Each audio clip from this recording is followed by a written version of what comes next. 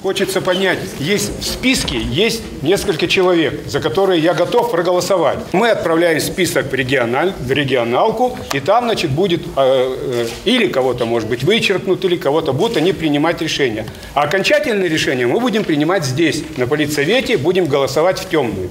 Я сегодня прихожу, мне говорят, либо за, либо против. Я голосую за Берсенева, а я вынужден ставить, я примерно говорю, против, потому что я за другого не хочу голосовать. Непонятная позиция. Есть список, за него нужно голосовать Петров, Сидоров, Иванова, Берсенев. Нас заставляют в приказном порядке, нас заставляют голосовать. Ну а почему вы подняли этот вопрос на заседании прошлого политсовета? Я в прошлом политсовете поднимал вопрос, что с некоторыми кандидатурами я не согласен. Мне объяснили э, руководители нашего партийного отделения, что этот список будет согласовываться в региональном отделении, и что могут быть всякие изменения.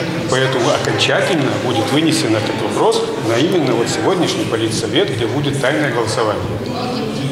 Я просто не... То есть вы были уверены, что по каждому персонально? Я, я считал и считаю, что должно быть это серьезное дело, это серьезное мероприятие, это связано с нашей жизнью потом в городе Первоуральске. Кто будет в Думе у нас работать?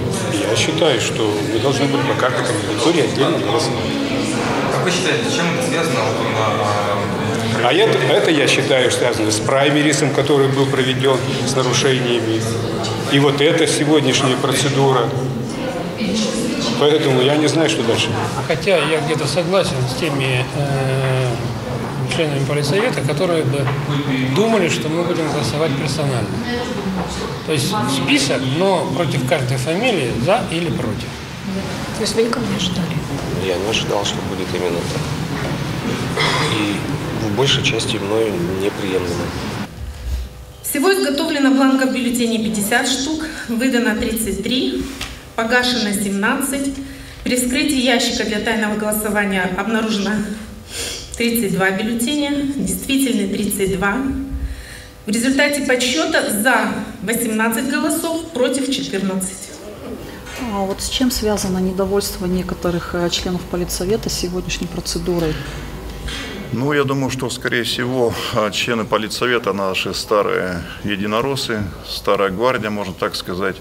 Но, к сожалению, по э, причинам одни в праймерис не участвовали, другие в других низкий рейтинг, они просто не попали, значит, в партийные списки и списки по двухмандатным округам. Из-за этого, скорее всего, было недовольство. Скажите, пожалуйста, вы ожидали, что будет э, голосование в таком жестком режиме проходить, а что я имею в виду, перевес очень такой незначительный за принятие списков? Ну, вот вы понимаете, что значит э, мы все ожидали, в принципе, все ожидали, но результат, э, он должен быть реальный и предсказуемый. Предсказуемый по одной простой причине, потому что те люди, которые в окончательном списке были, они большую процедуру прошли. И праймерис, и согласование, и уже на окончательном политсовете, значит, их уже утверждали.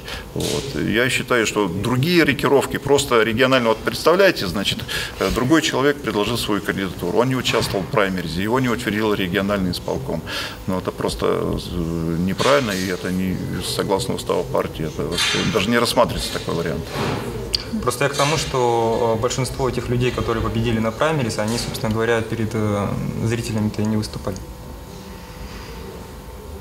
Ну, вот понимаете, процедура праймериса не говорит в обязательном порядке, что кандидат должен выступать. Он может выступать, может не выступать.